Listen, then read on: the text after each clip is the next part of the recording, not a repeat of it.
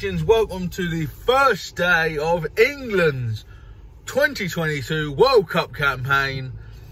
And there's no way to start a, an England game day like going for an English breakfast, is there? So we're off to, I think, Toby Carvery. Um, I, mainly because I just like, after going to the Premier Inn yesterday, and if you, you know, if you've watched the vlog, um, they didn't have like a buffet breakfast and I just kind of I feel entitled to one like I feel like I deserve one so that's why I'm going to Toby Carvery. Also they've just announced that England aren't going to wear the One Love band to support diversity in Qatar for the you know LGBTQ plus community and also um, like different ethnicities and I, will be absolutely honest I'm furious. I think it's absolutely ridiculous. England months and months ago say no we're gonna wear it. We're gonna wear it. We don't care. If they fine us who cares? We don't care. We're gonna wear it no matter what. We're gonna wear this special armband that you know makes a statement about diversity and equality and standing up against you know just hate. And they've bottled it so two days before the World Cup, they're bamboos. The first day of the England game, England say, "Oh no, no, no, us and Wales, we're not going to wear the band now." I don't know if Holland still are. I don't know if any of the others are bottling it, but I'm really, really disappointed as a Englishman, I guess. And I and I and I don't want to like dig Harry Kane out because I think it's probably as much a FA decision as it is Harry Kane. But I think if it's Jordan Henderson's decision, and if Jordan Henderson's England captain like I want him to be, although granted he probably shouldn't be in the team now at this point, um, I don't think Jordan Henderson would just back down and take that and, and just say, all right, we, we won't wear this this band that represents equality and unity and all the things we believe in, all the things that England represents, and all the things that you know, what we should if like if this was going to happen, we should have done a rainbow kit. Like like do like an England rainbow kit with like a rainbow badge and stuff. Like I'm just I'm not happy with it. I'm, I'm honestly I'm upset. I think it's I think it's appalling, and I think the way the FA has handled this whole World Cup in general, they've really let down the LGBT community, and they've really let down that whole, you know, Rainbow Laces campaign and Stonewall and everything that we've been trying to form as a country. And even the Lionesses, like, if, if you know, the Lionesses are so inspirational in terms of that community because so many of them are out and openly gay and obviously a lot of men's footballers don't feel like they can do that yet. And I think this is a big step back and I'm really, really disappointed. And I tried, I've been saying like we could do a video about the Qatar ethics the whole way, and I've been trying to avoid it and trying to avoid like a rant, but it kind of happened. And I just, yeah, the World Cup shouldn't be there. It should have been somewhere else, and I'm furious really. But let's get that parked. England play, we're to win. We're playing, I think, Saudi Arabia. Yeah, it's Saudi Arabia. I don't know why I'm doubting myself because Wales play USA today. We're going to smash them. It's going to be a great game. Jordan Henderson's going to come on and score. Conor Coady will score. Trent will score. Sterling will score. Am I missing anyone that used to play for Liverpool, guys? I don't think so. Yeah, so that'll be a four goal scorers. Oh yeah. So let's go get breakfast. But I'm very angry at the FA. Like, I, even if it's a million pound a game, if we get fined a million pound a game, it's worth a million pound for that statement. You know, like like what is the price of saying that everyone should be equal? can you put a number on that? I, I really don't think you can. So just to add to that, there's a poll on Sky. 66% of people think that England are wrong to back down. I don't know what 34% of you are doing. Let's have a little poll on the channel as well. If you think England are right to not wear the armband Wait, no. If you think England should wear the armband, give the video a thumbs up. If you think England shouldn't wear the armband, give it a thumbs down. So also, it's apparently FIFA have suggested they might yellow card people for wearing the armband. So that's part of the thinking because obviously if you get two yellow cards, you miss a game. So for the first game, Gareth, for the first game, Gareth Southgate should wear it. The next game, put the assistant manager wearing it on the touchline. Next game, put it on the physio. Let's just get everyone one yellow card, like all, all the non-playing stuff. And let's get the players to wear rainbow laces because there's nothing in the FIFA rules about what colour laces you wear. So let's get the Stonewall rainbow laces out. Let's all put them in and let's say fuck you to inequality because it's, I'm honestly, I'm fucking angry about it. Like, I'm fucking, I'm, I can not believe it. Like, I feel fucking let down. I don't know how you all feel, but like, I've got so many friends and, you know, like my, my brother is part of the LGBT community who likes fucking football. And I just feel totally fucking let down. I really do. I think it's an absolute disgrace. I'm, I'm fuming. I really am. I think, I this is the most angry football has made me in a long time. And like, I don't think I've been this angry about anything to do with football since like Tom Hicks and George Gillett. Like that's the sort of fucking like, that's how pissed off I am about this. It's unbelievable. Oh, maybe I'm hungry. Let's go get breakfast. Here's my breakfast. The biggest challenge is going to be eating it without getting it all over my white shirt. Wish me luck. So that's breakfast done. We need to pick some shopping up to do away for the weekend so we didn't do the normal sort of British thing of going shopping at the weekend to do the big shop so yeah, we're gonna pop to Lidl and get some stuff. So I'm going to a German supermarket before an England game. It's alright with friends now. They've got these really cool backpacks like Slytherin, Gryffindor, oh, that's just Hogwarts, but there's a Slytherin and a Gryffindor one. Eight pound, but they're kids ones. So they'll be too tiny for me, unfortunately. Also, I love bullseye sauce. The blue one is like a salsa, but I've never had the sweet whiskey glaze. So I bought that with some pork steaks to give a little go. Not in this video, but I'm sure it'll be nice. They also have all their Christmas stuff out, so if you're ready for Christmas, get on. Oh, they've got a snack helmet. Look at that. The price is 30% off. What does 30% off mean? It's like an American football helmet with like space to put like different bowls and stuff in. I need to find out how much it is. Debating Budweiser because it's the official beer of the World Cup. But I think I've got beers at home. But it doesn't have the World Cup on. Has anyone tried this? Cherry spiced rum. It sounds nice, but I don't want to try it unless I know. So let me know. I'll tell you what, Alex Scott, I absolutely love you. You're wonderful. She's repping the One Love band in the stadium because she can't get a yellow card. That's the sort of shit I love to see. That is leadership. That is what England should be doing. I'm surprised there's not more of it, to be fair. I'd love to see, like, maybe BBC hasn't got them bands in ready, but I'd love to see everyone wearing them for the rest of the tournament. Just as a big fuck you to anyone that thinks that people shouldn't be equal. So the England team is out, and Harry Maguire is at centre half. Kieran Trippier is right back, which means no space for the greatest right back in world football, Trent Alexander-Arnold, which is just absolutely outrageous in my opinion. But, you know, Trips will play. He'll make a mistake in the first game and then Trent can play the next one, maybe. I don't know. Hopefully we win. I feel a little bit nervous. Is, is it Iran in England's group, not Saudi Arabia? Um, Oh, yeah. Or is it Saudi Arabia? No, it's Saudi Arabia. No, it is Iran. I've got my wall chart up there, so I checked the World Cup wall chart to find out. I'm I'm I'm a, a very big mix of nerves, excitement for this. It's definitely it's definitely like got a tinge of like the whole World Cup, you know, not wearing the One Love band. I'm really disappointed with. I love that Alex Scott had that on by the pitch side. But yeah, I just, I'm nervous. I don't like the team selection, but we are playing 4-3-3 instead of a back five, which I really rate. So I'll give Southgate credit where it's due. Let's see how we get on. Also, I love the giant World Cup statue they're putting in the middle for each game. That is an absolute vibe. I love it. My prediction is Raheem Sterling, man of the match. He's the only person that's played for Liverpool before, so it has to be him.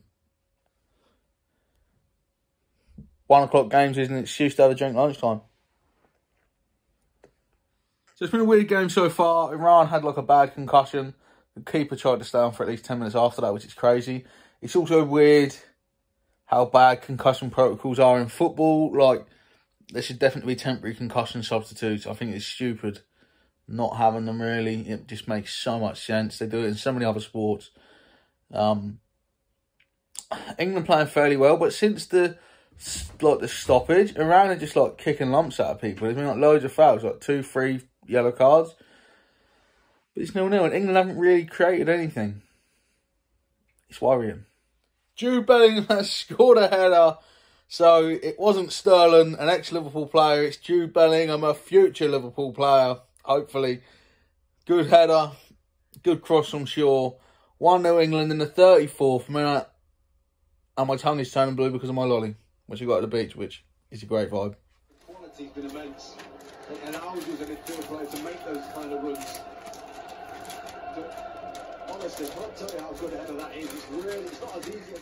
Great goal from Bukayo Saka. Great little left foot volley. Dips into the far corner, like the top bin as well, almost. Properly good goal. Really like that. And to be fair, Harry Maguire gets an assist with a header. So he has looked a threat from every single corner. As much as I don't trust him defensively or, or rate him in comparison to some of the other English players, he's having a, a decent game. But obviously, it's Iran and they're not really offering any sort of threat at all. But it's 2 0. 45th minute, there'll probably be about 10 minutes added on. They haven't said yet. They still haven't said. But there should be a lot added on for that concussion. As soon as I stop filming, Raz scores. Raz with a little, just a little sort of toe poke volley, really. Across, I think was Harry Kane. Um, I haven't seen a replay yet. We still celebrate. But it's 3 0 England. David Beckham's clapping. Told you Sterling would be man of the match. MOTM. Raheem Sterling. He's coming home. It's coming home. So it's half time. It's 3 0 England. Great performance so far. It's definitely, definitely coming home. I literally, I'm convinced. I hope everyone around the country is convinced. Nothing can go wrong. We're beating Iran. You know, Iran are a quality side. They beat Uruguay a little while ago, who I think might win the World Cup. So, you know, they've got the best striker in the world, Uruguay and Luis Suarez as well. Um, I am very excited for this World Cup. It's it's fun that it's back. It's fun that it's happening, but just what is the whole one love, one love, one love? Oh man, I can't even say it. I'm that disgusted with the decision. I'm just surprised they're not wearing it, and I would have really liked to have seen Harry Kane just put it on anyway. But it's a disappointment, but here we are. England are going to win the World Cup. 82% possession in the first half. Seven shots to one. Four shots on target to zero. What a performance. Saka scored again, with a little curling effort. It's had a big deflection. And it's 4 0 England. Iran scored. Harry Maguire's just been literally run past. He's now looks like he could be concussed, actually. The, um, the medics are checking him out. Looks like they're checking him for concussion. Um, so let's not slate Harry Maguire for a mistake, because it could have been concussion, and that's, you know, it's obviously not his fault. But yeah, he's, he's not the best. And also Pickford, the ball goes like straight over Pickford's head. Um, I always have a problem when a goalkeeper lets a ball go over their head because I really, I just feel like really anything, anything not either side of you and just above your head shouldn't get past you, in my opinion, but it did, you know, and that's a bit disappointing. Marcus Rashford's arm, lots of criticism of him being in the squad because he isn't really playing that great for United, and he's had about three touches of the ball and he scored, so very cool, very collected. And I think he tried to send a message that he wants to start the next game, and to be fair, I rate that. So Jack Grealish scored, and then he were now in stoppage time. So England winning 6-1. And there's a very soft penalty just been given for a little bit of a shirt pull. VAR called, the ref didn't give it. VAR called him over. He watched it about 12 times. Um, they're stepping up with a penalty now. It's not going to affect the result because we're in the 102nd minute of the game. but he's now stepping up. So let's see if he scores. He looks, he looks somewhat confident, but also somewhat nervous at the same time, which isn't that usual. He's out of breath. Okay, he's doing a sort of. I don't know what sort of run up that is, but yeah, he just rolls it the other way to what the keeper does. England six, Iran two. I'm pretty sure that'll be the final score. It's a good opening game for England. And it's nice that Iran had something to celebrate as well because they've had a lot of fans go over because obviously because Qatar isn't that far away from them. So yeah, I'm I'm not unhappy with six two to England at all. So for the Holland game, I'm watching it on my PC screen whilst playing FIFA on my PlayStation 5. So yeah, I, I want to see the game, but also like there's no money, so I'm pretty confident Holland probably win. So I'm sort of multitasking for it. So Holland beat Senegal 2 0, which is kind of what I wanted because because Mane's not there. I want Holland to win because I want to support my guy Van Dijk. I'm now going out to play football, which is why I got the old Under Armour on and a coat. Um, I'll probably film a little bit of the football or something, but I don't know because it is raining really bad. So if I don't film anything there, I'm sorry. I'm going to do a Ben Foster and set you up down there.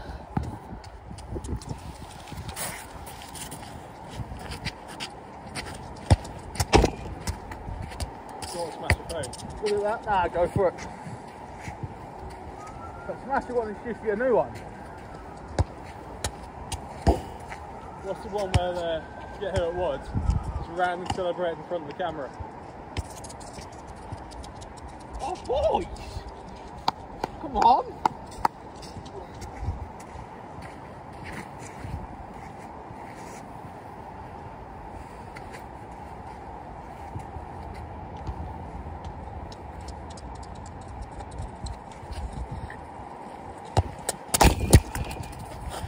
Perfect trick. That's the footage I want.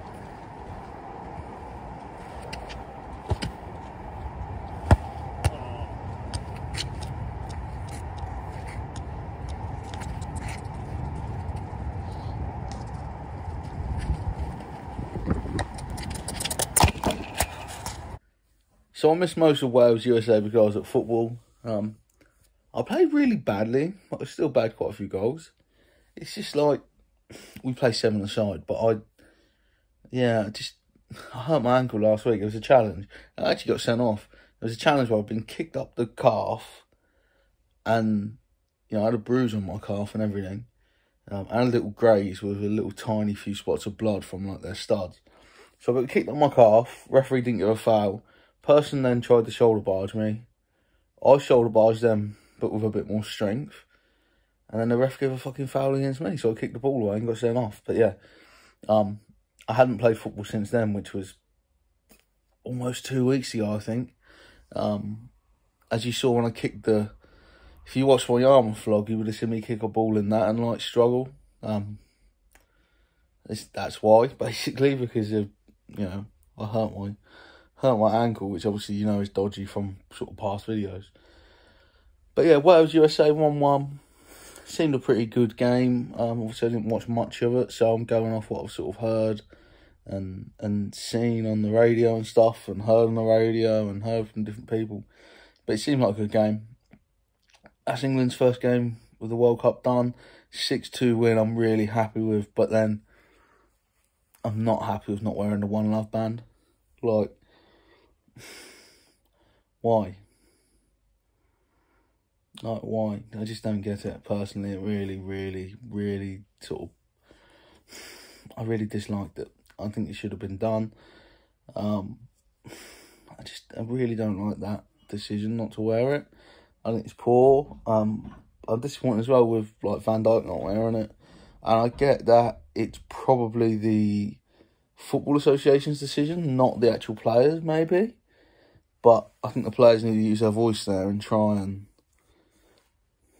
try and stand up. And also, my hair's like annoying me because it's all fluffy. I've washed it after football, um, but I haven't like brushed it yet. I've just dried it, so it's just like my hair's all gone like puffy.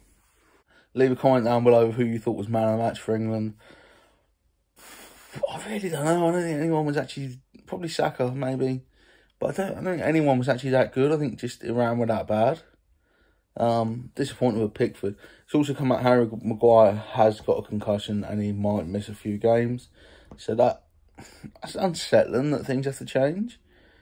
Um, and it's a shame because he was, like I say, he was a threat at corners. He didn't have to do much defensively, and the one he sort of was involved in, he was apparently concussed. So you can't you can't be mad at the guy.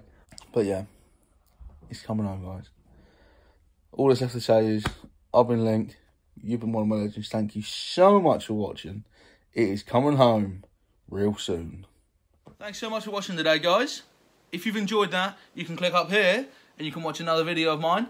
Or if you really love it, if you really, really love it, or even if you just like it a little bit, go down here and subscribe to the channel.